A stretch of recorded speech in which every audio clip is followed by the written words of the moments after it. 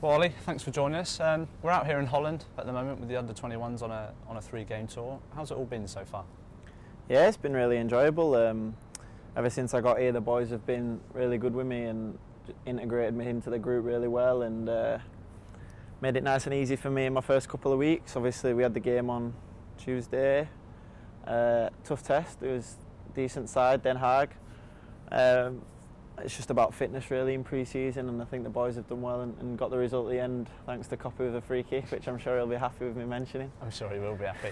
Um, you mentioned there of course you are one of the newest uh, members of the squad. How have you settled in uh, and how are the boys made you feel so far? Yeah obviously I knew I knew a couple of the boys um, prior to coming I knew Tom from when we were at Leeds and then I knew Hedges as well and uh, they've helped me get him but yeah the, all of the boys have been ledged to be fair. Um, there's no really big, massive time players in the team, so everyone's been everyone's been really good with helping me settle in, and uh, yeah, I just feel like one of the boys already, really. So really good. Yeah, you seem to have, have settled in quite quickly, but how important it was to to get that the game time under your belt so soon this week. Definitely, obviously that's my first game of pre-season so far. Um, bit of a stop-start pre-season at Bradford before I did come here, and then, uh, like I say, my first 45 minutes on Tuesday, and it was good to shake a few of the cobwebs off in the game and uh, yeah it's important getting your game time you can do all the running in the world really and until you get your, the actual minutes on the pitch then there's nothing like your match fitness and really good to get the games in. You've only been here a couple of weeks but it must be nice to to get out to a, a foreign country and uh, different surroundings for, yeah, for a week or so? Definitely, I think the weather's been nice for the last few days while we've been out here. We went into Den Haag Centre yesterday and had a look around and it's a really nice place so good to come away with the boys. It's great team building when everyone's together and living with each other, and it helps you settle in as well. So I think it was perfect timing for me really to come in and with the boys have helped me settle in well. I was just going to say, what, what are, in your opinion, what are the benefits of, of trips like this? Definitely, I think that's one of the main things is the boys together and all the camaraderie of it and the and the banter of living with each other and stuff like that. And I think it brings the team together and it helps us on the pitch. Uh, ultimately, at the end of the day, it helps us if we've got a good team chemistry, and I think it's definitely one of the massive things coming in trips like this. Camaraderie is, is one of those words often used in football, and, and with new players, it's always the, uh, the dreaded initiation song. Can you tell us what you sung and, and how the boys reacted to it? Yeah, thankfully I went on my own singing. I think there was a few of the boys that got up and sung. I sung uh, Oasis, Wonderwall way out of my comfort zone when it comes to singing in front of the boys. It's the worst part about it, but you got to get it done, aren't you? Like you say, it's, it's a bit of banter in front of the boys, and thankfully it's out of the way now. So yeah, it's, it's not a nice part about being a footballer, but you got to do it, aren't you? You have uh, recently come from, from Bradford, where you were there from, from the age of 15. Was playing football always something you wanted to do, or did you also have any other interests at all? Well, to be fair, I was kind of one of them kids at school that only only thought he was ever going to be a footballer and never really had any other contingency plans. And uh, luckily, it's going all right for me at the moment. But I think I'd have been struggling otherwise. Um, yeah, I kind of just always didn't even consider there was another option for me, and I thought I was always going to be a footballer. And and thankfully, I'm on my way there to being a footballer now. Your goal scoring record at Bradford is, is pretty impressive by all accounts. Um, I think you've scored well in excess of 50 goals in the last two and a half seasons at youth level. Is there any players that you sort of model your, your game on at all? Always growing up, I liked uh, Brazilian Ronaldo. I thought it was a bit different to the way I play, but I think I thought he was just the best number nine around. And obviously, being a striker, it looks you look for role models like like you say, Brazilian Ronaldo was always the one, and Ibrahimovic as well. I think uh, I think he's unbelievable, and uh, I like to get as many things from his game as I can, and uh, tone some of his game down and, and get get the good things out of his game. But yeah, I think Ibra's up there. Ibra and Ronaldo are probably my two role models. There's a couple of, uh, of pieces online. Uh, journalists sort of likened you to, to James Hanson, um, striker at Bradford. You probably worked quite closely with him during your time there. Was he someone who you were looking to learn off quite a lot? Definitely. I think the way Bradford played. Um, sometimes you had to fit into it in, into a certain style if you wanted to get into the team and obviously Hans is a, is, is a good, good, good striker at that level, and there were certain attributes that I could pick out from, from the way he played and tried to put into my game. And it's a lot different now coming to Swansea. I have to develop my other attributes that I have and, and, and look to play in a different sort of way. But there's definitely some attributes that you can pick up there. Yeah. Uh, not many people might know this, but you had a, quite a unique opportunity in the summer of 2013 when a, a, certain club called Manchester United came calling. Can you tell us a little bit about that? So yeah, it was it was a bit of a weird, weird one really. It was kind of out of the blue. Um, I went on loan to United for a couple of weeks for the Milk Cup, and uh, we did all right over there. Won the tournament, and uh, really good experience for me.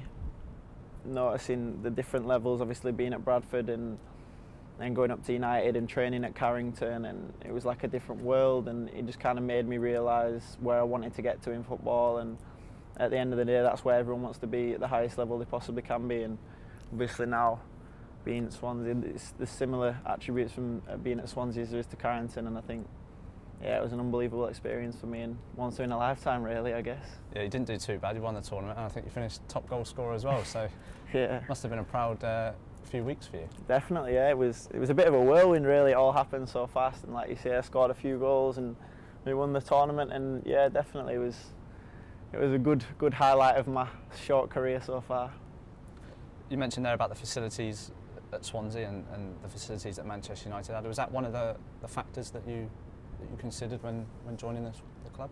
Definitely. I think if you look at what, how far Swansea's come in the last few years and and just look at the the, the players that they've, they've, they've brought through and the way they play the football and everything about the club. It just, like I said, I, I said in an interview before, when a team like Swansea comes, you can't really say no. And all the, all the all those factors were just pointing in the positive direction, and that's the way I want my career to go as well. So I just thought it was the perfect opportunity for me. It's a big opportunity this year with the club playing Category One football and coming up against some of the best talents, uh, not just in the UK but in Europe as well definitely. Like you say, obviously the, the boys done well last year in the 21s in, in Category 2 and now they're in the Category 1 fixture list and uh, you want to test yourself against the best players you possibly can and with the best players you possibly can and in Category 1, like you say, we're going to be coming up against the best, play, best players and best teams in, in England and in Europe and there's no way to better prepare yourself and, and test yourself than, than against those teams. You made over over 20 appearances in the first team for Bradford and, and a loan spell at Chester last season as well, five goals in, in 14 games. Do you think that first team experience is going to help you, not just in this season, but pushing on during your time at the club? Definitely, I think I think it's a it's a massively different environment when you're playing in the first team. Obviously, I came from the youth team at Bradford, and there is no 21s at Bradford, so you go straight from the youth team into the first team, and it goes from sort of being a laugh with the 18s, where if you win, you win, if you don't, you don't. Going into the first team where people are playing for their livelihoods, and to support for the families and, and, and there's 18,000 people there watching it and it is a massive it's a massive curve a learning curve for you and like you said my loan at Chester that was the first time really where I'd played first team football in and out every week for 12, 13, 14 games, whatever it was. And I think it was massive benefit coming into the 21s and maybe go back out on loan at the end, towards the end of this season and, and just see what happens from there, yeah.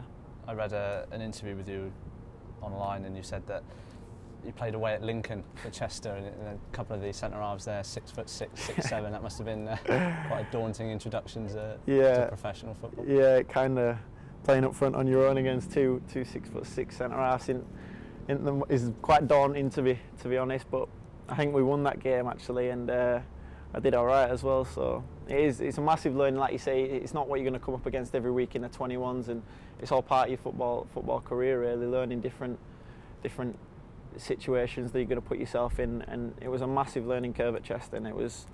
I think that's probably when I benefited the most um, in my career. I think I progressed ridiculously in them couple of months, like you say, playing against men every week that had played for 20 years in the football league or whatever, and they know all the tricks in the book. And it's really good to test yourself against those sorts of players. Yeah. And I'd imagine someone like yourself would encourage other players to go out on loan and, and get that experience as well. 100%. I think Hedges was got on about going out on loan again this year after going on a nice, a nice loan at Orient where he did well last year. And if any of the boys ask me about going on loan, the ones that are thinking about doing it, I'd, I'd 100% recommend it. There's nothing like playing first team football. Um, obviously, it's got to be the right loan for them. There's no point going out to a team that, that's not going to benefit them. But I think I'd recommend it 100% to any any young footballer really that wants to go out and get for football first team football experience. Yeah. And just finally, you signed a three-year three-year contract at Swansea now. What are your aims, not just for this season, but looking a little bit further ahead now? Yeah, like you say, just learn as much as I can while I'm here. Obviously, there's a ridiculous amount of coaches and, and, and boys that can help you with the experience and. Uh, ultimately the goal at the end of the day is to try and get into the first team, and whether that be next year, the year after, or this year, whatever. Ultimately, like you said, the goal to sign for Swansea is to try and play for Swansea first team. So that's the goal at the end of the day.